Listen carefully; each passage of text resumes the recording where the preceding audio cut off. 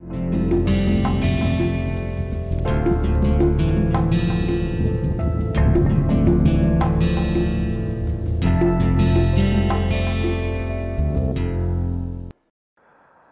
welcome back uh, to the lecture on elements of visual design. I will just try to do the recap what we covered in the previous lecture. Uh, so, the basic elements of design are going to be one is line, shape, color, texture and space. Okay. So, let us see what is line. Line can be horizontal, can be vertical, can be diagonal. Okay. Uh, it can be zigzag, it can be line can be curved, it can be straight, uh, it can be diagonal, okay. it can be dotted, can be dotted. So, I would uh, remove this line and I would make it dotted. So, it can be it can be bold and it can be fine. So, these are all different lines which uh, are used basically to uh, draw to basic uh, basic elements of the design. So, line shows direction what all line can show line can show direction line can lead the eye line can lead the outline of the of of an object line can do. Then it can divide the surrounding or I will put it in a better word called space. And then it can also it can also communicate communicate both feelings and and texture. Okay? So when we talk about shape the shapes are basically extension of these lines. So shapes are made by joining lines arcs okay arcs uh, to form 3D object or 3D uh, shape okay 3D objects. So, the uh, 3D objects or 2D extended to 3D can be 2D to 3D can be one is it can be circle, it can be square, it can be triangle, it can be or it can be uh, it can also be any free form free form surface whatever you create in 2D can be extended to 3D to identify a, a shape right.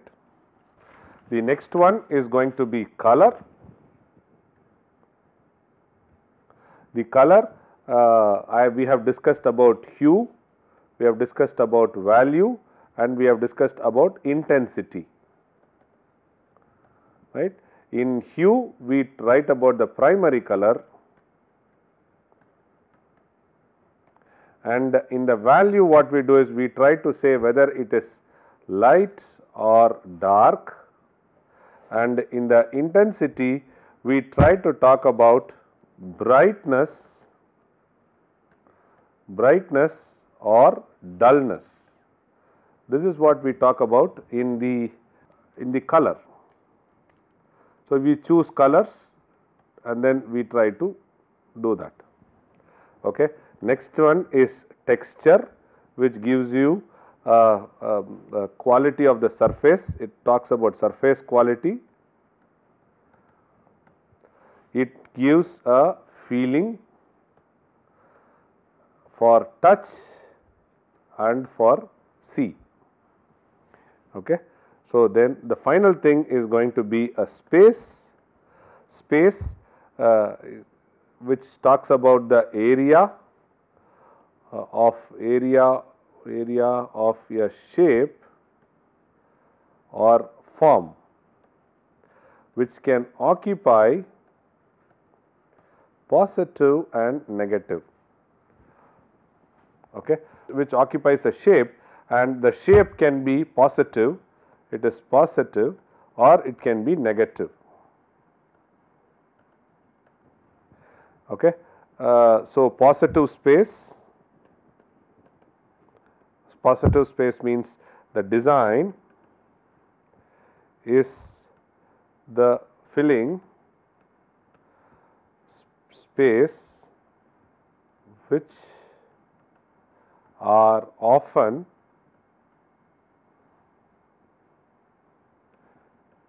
made up the design. Okay. Negative shape is the what is negative shape? Negative shape is nothing but the background. The ba background itself. The negative shape is, is designed. So, negative or positive it is very important because here what we try to talk about is we try to talk about the object and its surrounding. We talk about that. So, these are the basic element features uh, which we saw. And then on top of it we have the guidelines.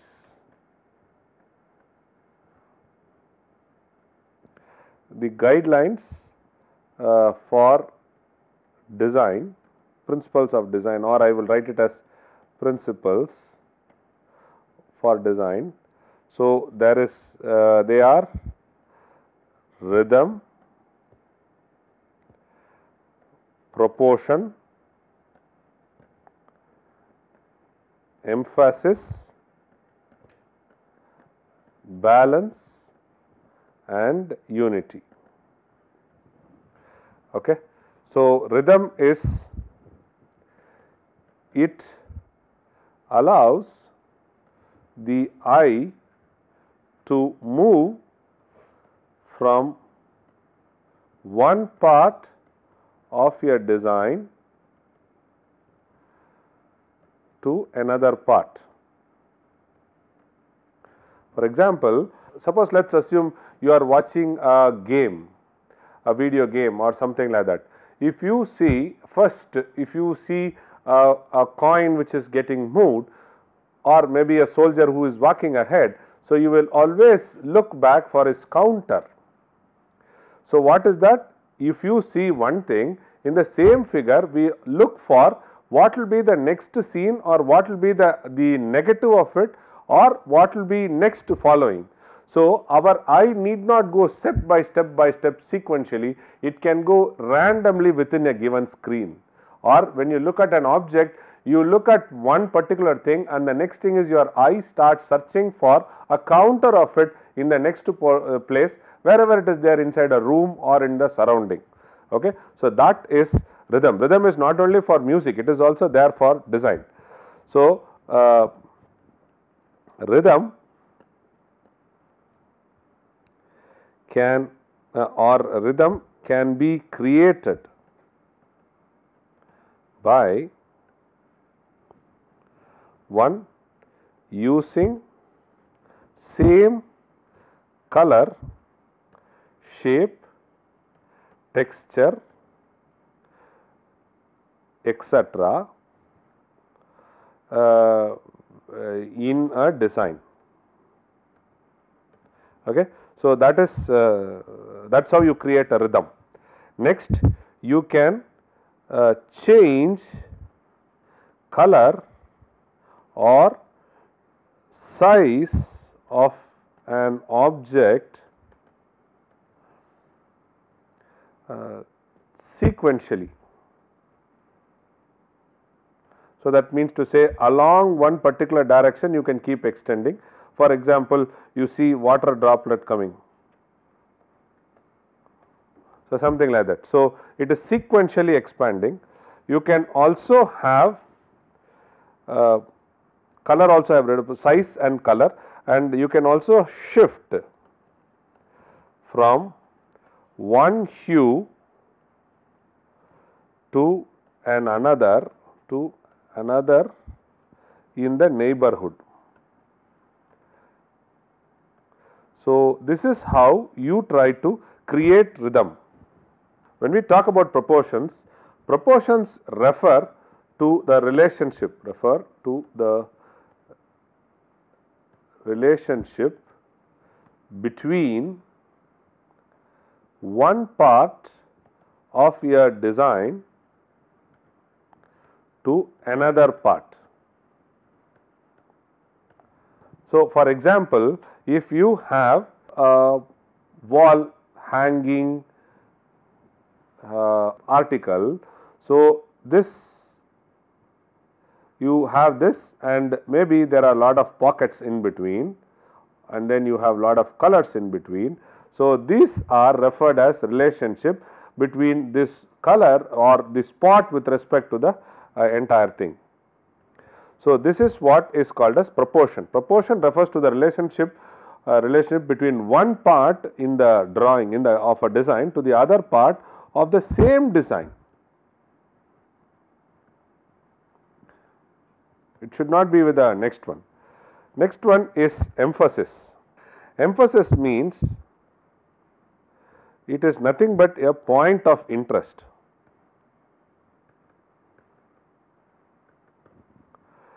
Emphasis is a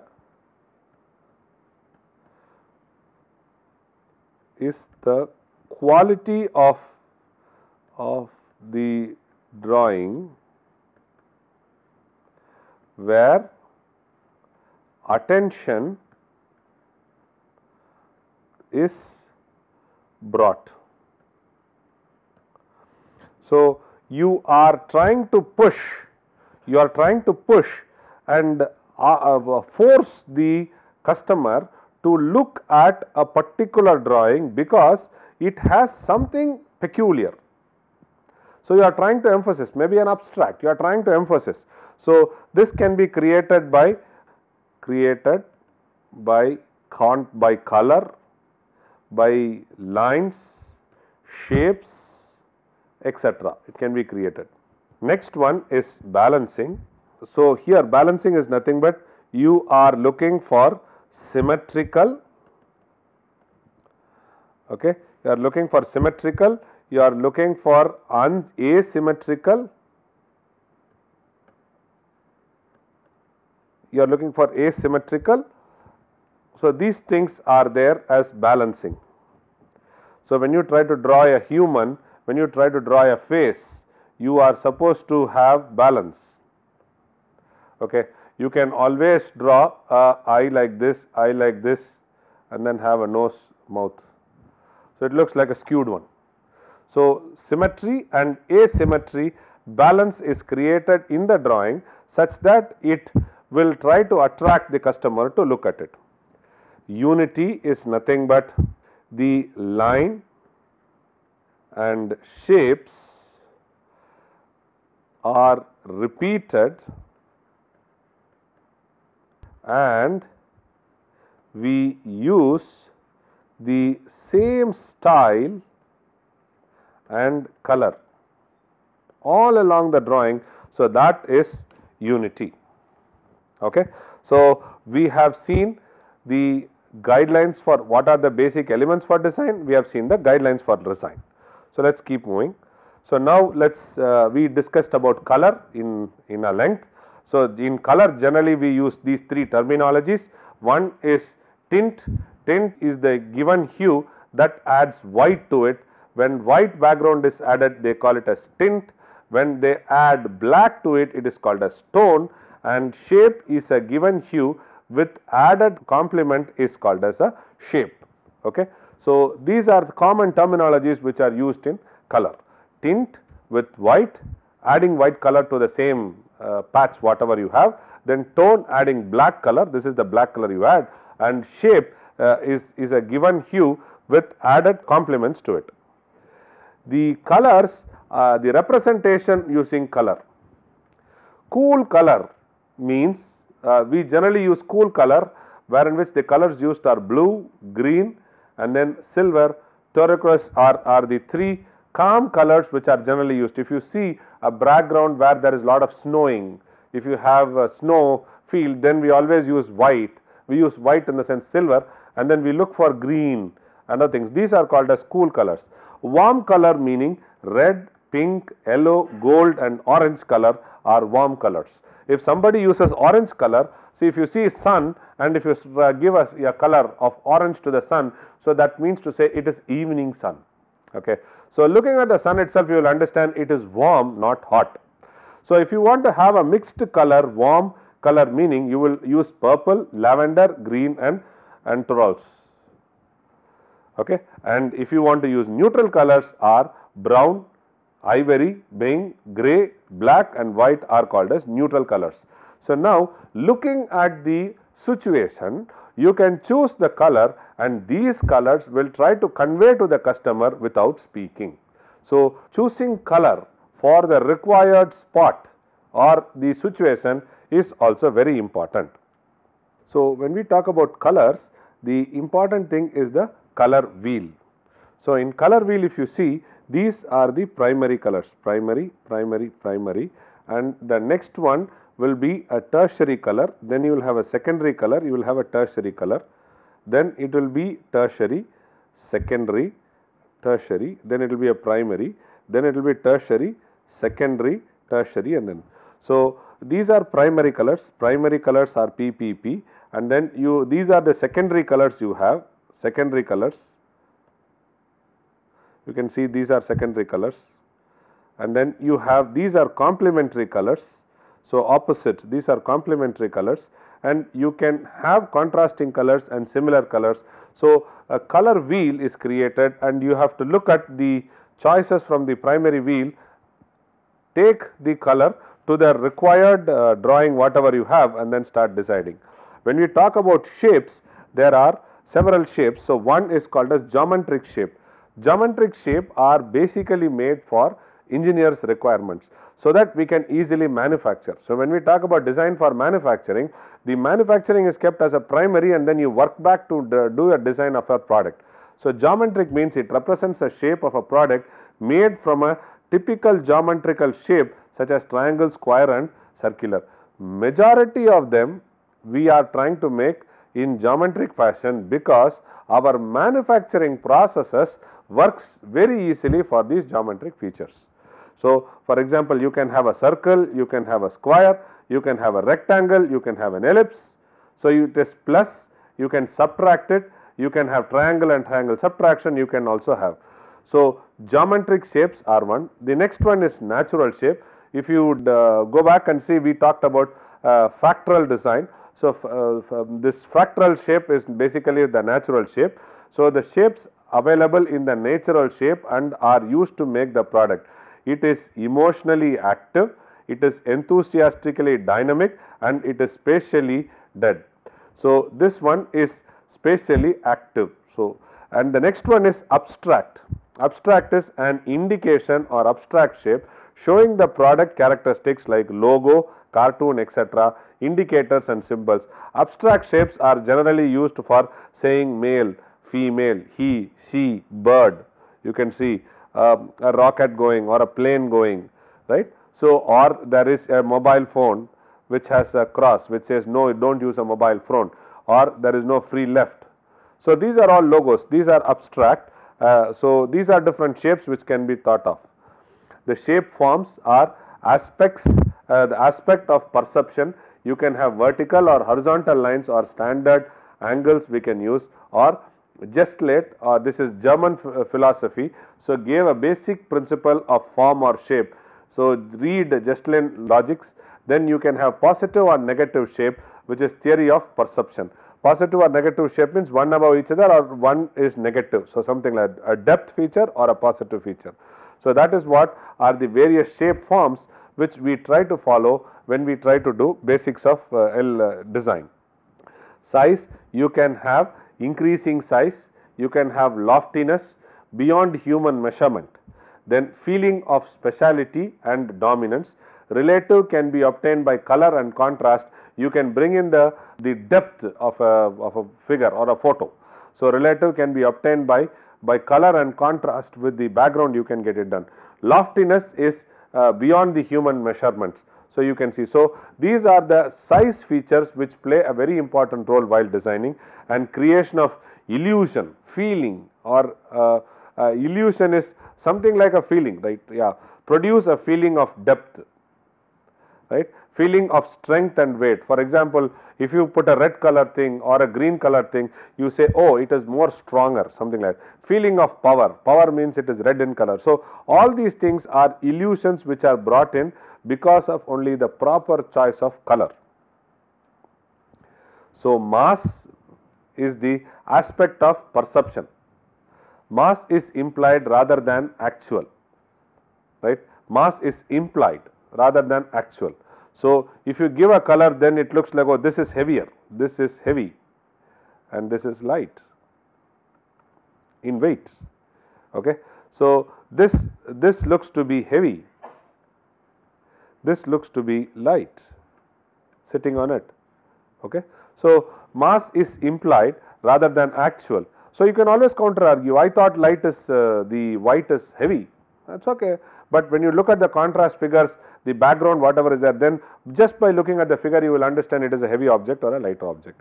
The size implies normal weight each piece has got its own weight and their individual weights in the total component. So, individual weight in the total component. To accommodate normal size restraints or expectation, to convey a mood or a positive emphasis or to create a contrast, so, all these things are mass which is thought of and added to the figure when the design is made. The changes, the change determines the way how the form, shape, size or mass are changing within the product, right. So, how was it and how did it get changed from time to time? The changes can be actual as in the case of graphics etc., or it can be virtual like a cartoon illustration etc. So, you can draw something and you can keep on be changing. So, uh, a square okay. So, this is now changed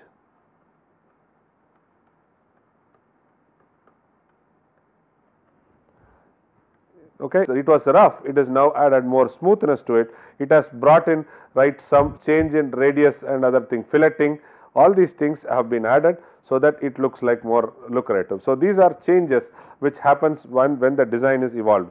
So, an organization, a surface, a detail and then a graphics whatever it is. So, all these things are changes which are done for the same thing. The principle of tempo or rhythm guides the use of change. The change can be in terms of shape or form, size or color or value. So, we have seen enough of elements of design and then principles of design. Now, what I would uh, request all the students is a small assignment. Uh, the happy news is you do not have to submit it, we will not evaluate it. I want you to develop a small pencil box, okay, pencil box which is 3 dimensional okay, and try to bring all concepts of design elements and use principles of design. You have to do line, shape, color, texture okay, and form fine. Next, you will try to develop a abstract abstract figure by cutting color sheets of various shapes and size right size. So, you will choose a beautiful lady okay, from a cartoon, cartoon or wherein which I have a sketch alone, outline alone, where outline is, is given. Okay. You will you will pick a cartoon where it is outline given, cartoon means yeah, outline given and then it has to be a beautiful lady from the cartoon you have to choose. Then you will have to try to take different uh, color papers, cut it into shapes whatever you want and start sticking on top of it and try to bring in your feeling to the figure. So, please try to do these exercise. When you finish these two exercise, you will start appreciating the importance of color, shape and texture uh, while designing a product. Thank you very much.